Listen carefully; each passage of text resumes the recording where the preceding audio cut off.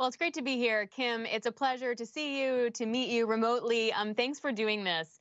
Um, you know, when we were talking a couple weeks ago about, prepping for the panel, what came out in our conversation was how there's a big distinction between the old world of uh, tech, of IPO, of SPACs, of capital markets, of M&A, and then the new world. So I think, Kim, just starting off the conference, it'd be just great to get your perspective on what is that? What's the old and new world right now?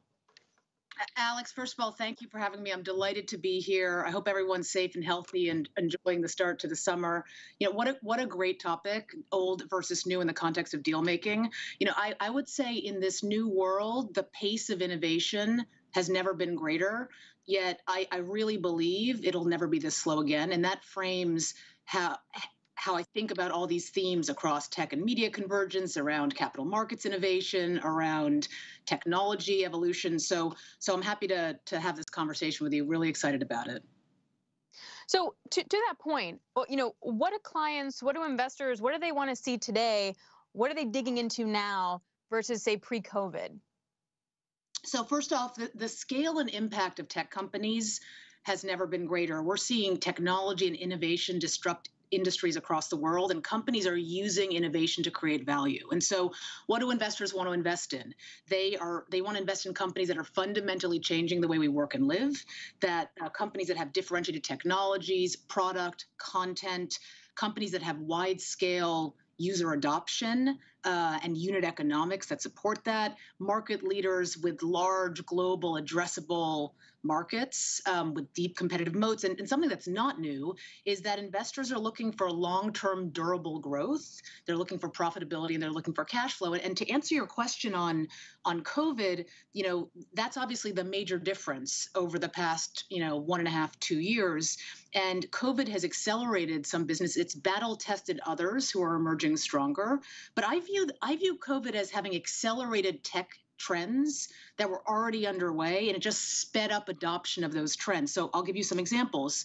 People who hadn't previously shopped online, banked digitally, um, bought their food or groceries online, looked for healthcare solutions online, all of a sudden they mm-hmm. did all of a sudden people were staying at home more. People were using their phones and mobile devices more for media and content consumption. So that changed consumer behavior. Um, and so not surprisingly you saw you know huge outperformance in certain sectors like gaming e-commerce fintech mm-hmm. digital health that's just to name a few. But those are some of the sort of immediate beneficiaries of covid in the past year and a half yeah, I, I literally don't carry cash anymore. Like I have, I've been to a bank I think once in 18 months or something crazy. Um, the other thing I don't do is watch TV. uh, I just go right to streaming. So I think a big, a huge front and center theme, and this goes right to your wheelhouse, is the convergence of tech and media, and sort of where we were five years ago versus where we're going, and kind of like how much more consolidation, how much more change can we see in that industry? Yeah, so um, technology has absolutely changed media, but the, the one thing that hasn't changed in the media industry is that content is key. And so, t- two things that I've observed you know, premium content has never been more valuable, um, but at the same time, we're seeing this powerful emergence of the creator economy. Okay. And, and that's because anyone can be a merchant now anyone can be a content creator anyone can be a content distributor and consumers also have many more media options to your point. You know they have their content library in their pocket at all times and they can consume media when they want how they want um, through whatever device they want. And so i think the traditional media companies and the large cap tech companies and the streaming companies are all trying to figure out how they become the direct to consumer platform that consumers can't live without. And there's actually two deals that recently announced that I think speak to these or they illustrate these these trends, Alix. So, you know, the Amazon eh, MGM deal, you know, that deal underscores that there's a real scarcity of high quality scaled assets in the media space and how critical depth and breadth of content is in attracting direct to consumer subscribers. And in buying MGM, Amazon bought thousands of hours of movies and TV from decades of content creation and used that to sort of complement and supplement their original content. So that's one example. You know, the other example is the AT&T Warner Media Discovery deal. That deal signals that scale and content and this evolving consumption methods will be the key drivers for success in this global direct to consumer you know streaming landscape if you will. And you know that's a clear case of two high quality players recognizing that if they came together they'd be better positioned. Even though they were already individually very well positioned they'd be better mm-hmm. positioned to compete and win you know on this global playing field. And so i think the headline around around tech and media convergent is premium content is more valuable than anything but also there's this powerful emergence of what i'm what i call the creator economy where really anyone can create content um, and have access to hundreds of millions of people and audience around the world because of these disruptive tech platforms. So if we look at say the next you know 12 to 18 months is the bulk of the activity going to be in these te- in this tech and media space or is it going to be in different kinds of sectors? Do you have a read on that yet as we're coming out of COVID? I, I think that you're seeing with some of these deals, you're seeing um, clear signs of CEO confidence. You're seeing clear signs that CEOs are looking at tech disruption and innovation and ways to innovate their product, their service, their content to get to the consumer in the way that he or she is now consuming content and or engaging on commerce and other, you know, technology uh, sectors outside of media. So I think that that's where you'll see most activity and you know, you know streaming is in the middle of all of those themes and so i expect mm-hmm. to see a lot of activity across tech and media convergence absolutely do you have a sense of like what could disrupt that kind of flow right now? Well, listen, you know, the there's a there's a regulatory overlay. There's um, you know how big can these large scale tech platforms get? There's um, you know the ability of independent creators to compete directly with premium content, and you know will broader consumers be interested in both? I believe they will, um, and mm-hmm. so those are the things that I think will impact the evolution of tech and media convergence. Mm-hmm. I do think the large cap tech players they want to own more and more of the customer wallet and mind share is critically important and the other thing that i think will disrupt the, this evolution is that you know the data and marketing available through content consumption is incredibly valuable across other lines of business whether you're a tech company or a media company so that's something i also spend a lot of time thinking about that's interesting. Um, the, the other part of this world is what's happening in the IPO market, direct listings, SPACs. Everyone I talk to wants to know from you, what do you think the market's going to be for SPACs? Like, how do you see the world of IPOs and SPACs evolving? Um, no one's asked me that before, Alix. Uh, so capital. Everyone's market, asking me to ask you. So I know, I, know, I love it. I love it. But listen, I think, and, and you and I have discussed this, I think capital markets innovation is only a good thing for companies going public. Period, full stop. The reasons that companies go public have remained the same, um, but the ways in which they can get public have evolved. And so companies have many more options today than they did five, ten years ago. They can design how they get public to suit in a bespoke manner that suits their individual needs and desires, objectives, and goals. And I think that we at Goldman are fortunate to have leadership position across IPOs, direct listings, SPACs, and I'll get to SPACs in a second. So we're agnostic to the path, um, and we can work closely with our clients to help design their public listing path that, as I said, best suits their goals and objectives. And so, you know, the thing I would say, just to put this in a little bit of a historical lens, and I'll get to the SPACs, is is direct listings, in my opinion, were arguably the big innovation that kicked off this recent wave of capital markets innovation. And I do think that direct listings will i don't think that they'll completely replace the ipo i think that we'll have a healthy mix of both. Um, and and the reason is that as i said people are solving for different needs when they list and companies that are focused on direct listings they tend to be less focused on primary capital needs. That's because historically it hasn't been an option now it is. They've tended to be less focused on shareholder based curation and selection, less focused on developing relationships with the research analyst community um, in a more structured and formal way heading into the IPO. The most important thing they're looking for is, you know, price transparency, right? And so those have been the reasons that people um, or companies are biased to direct listings. Now, SPACs um, is you know an incredibly hot topic as, as we've discussed i actually i really think that's a real way for companies to get public and i do believe that spacs will endure and you know clearly there was this unbelievable surge in spac ipos in the first quarter of this year there were 300 spac ipos from january to march um, that's over five times more SPAC IPOs than in 2019 and significantly more than we saw in 2020. And I'd say the pace we saw in Q1 is probably not sustainable over the long term, which you're already seeing play out. So there were only 30 SPAC IPOs in April and May. And so you can see the market adjusting to a more sustainable pace. Um, that I think is you know healthier, you know, longer term for the market. And I and the other thing I would say is we're seeing a flight to quality in the SPAC market. I also think that's that's good for the market. It's good for the issuers. You know, people are looking for the highest quality executive leaders, um, the highest quality deal makers, the strongest business networks, strategic relationships, the best operating and sector expertise, and, and the strongest investor relationships. And so, the, the SPACs that have that mix of attributes, I think, will do well. And I also think that you'll see more VC and growth equity and private equity SPACs. You know, these are these are great investors who are in the business of looking for the highest quality founders and CEOs and businesses.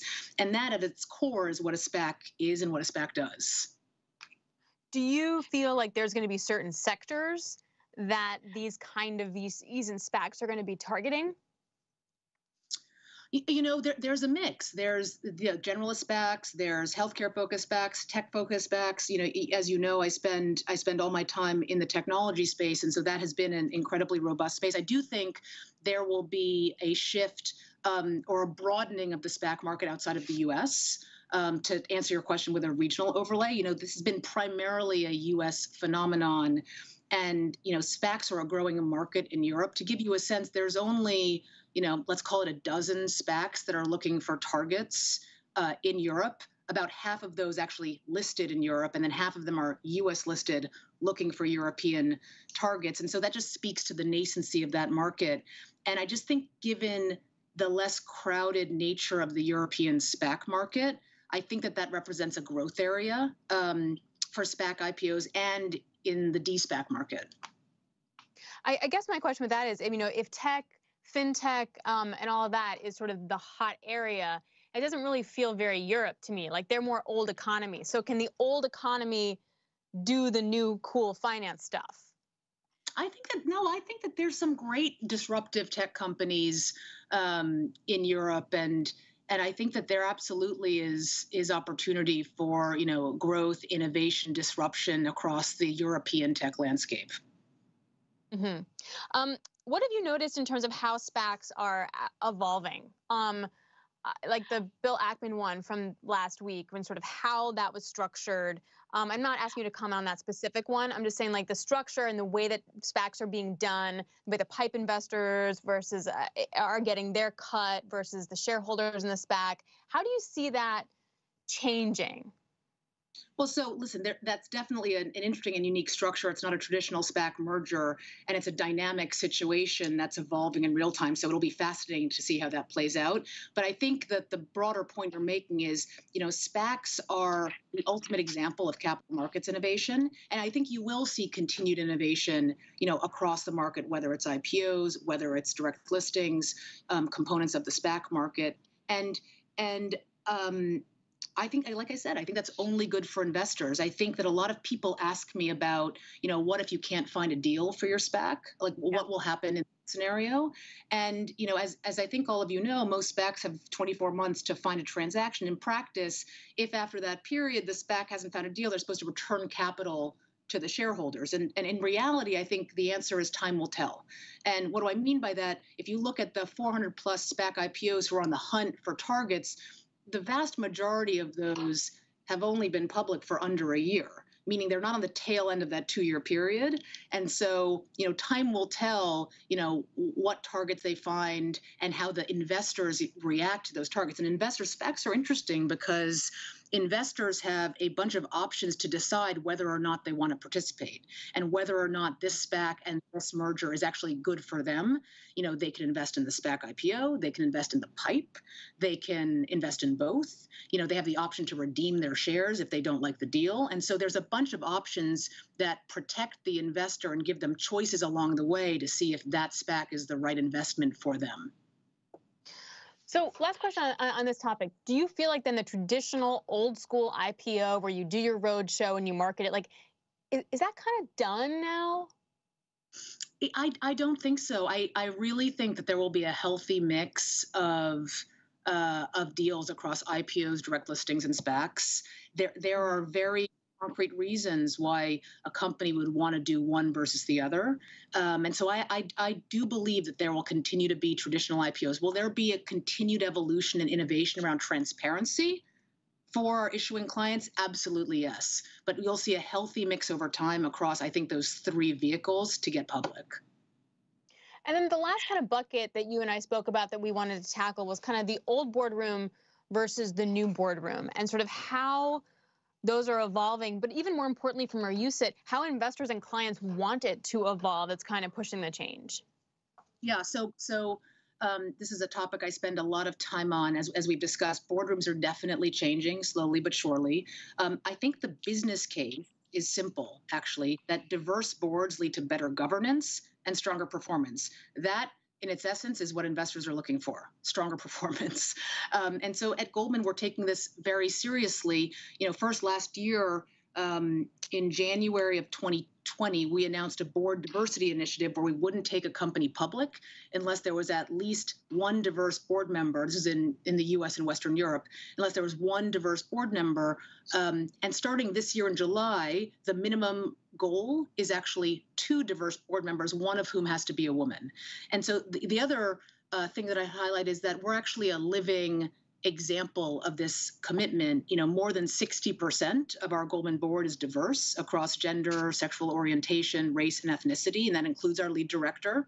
Uh, we recently added two women to to our board, and and I believe we have significantly benefited from having those diverse backgrounds um, in and around the board table and their and their perspectives. And again, the business case for us is quite simple. It leads to better governance and stronger performance.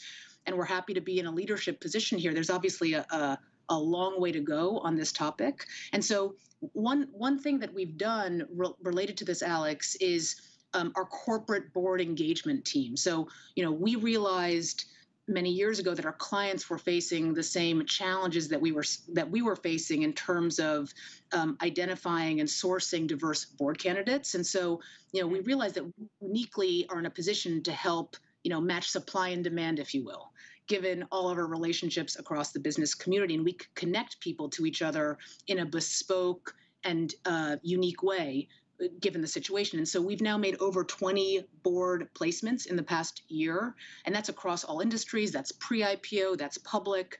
Um, and we're very encouraged by this early momentum. Like I said, there's still a, a, a very long way to go, but um, hopefully that answers your question. You know, and, and investors absolutely are focused on on this. Well, and then and then to that point, you know, it becomes about not only increasing diversity, but retaining the talent, keeping the talent, promoting the talent, um, and the like. Which kind of brings me to my last topic, which is you're clearly in the office. I'm I'm in the office, and and all of that, retaining talent, keeping them, helping the junior bankers, helping the newly hired, like all of that. Are people in the office? What's it like? What do you expect going forward? Yeah. So. Um, uh, also a topic that you know we've we've been thinking about very carefully for a long time now and and the answer to that obviously changes depending on the region you're in and the office you work in. There are um, you know parts of our business and our community that are you know still heavily impacted by covid in india in parts of europe. And so you know the dynamics you know vary quite dramatically across region which you know. Um, uh, right now i'm at 200 west. I'm in our headquarters you know and and it, it does feel different. I, we believe given our culture um, it's an apprenticeship model. It's a teamwork oriented um, business model collaboration is critically important communication and we think it's important for people to be physically together to drive, yeah. you know, apprenticeship model. And so, yeah, we've seen, you know, increasing number of people in the office. I think it's great for collaboration. It's great for um, the culture. And um, and so and, it's, and, I'm and Kim, yeah. What, what about clients? Like, are you traveling? Do clients want to see you guys, not on Zoom? Um, so, so absolutely. Listen, it varies. People have different degrees of comfort, and they're in different stages of, you know, their evolution post COVID. But yeah, I would say many clients would, you know, are thrilled to see us, and and I, I'm absolutely uh, traveling to see clients, and you know, it's. I think it's also created. Um, creativity and innovation actually in how we engage with clients. Not surprisingly, a lot of my client meetings have been outdoors over the past year. Oh. And and I've had meetings with clients in environments that you'd never, I, I wouldn't have thought of before. Um, and so I think it's created um, sort of an intimacy and a creativity and an engagement with clients that's actually quite compelling.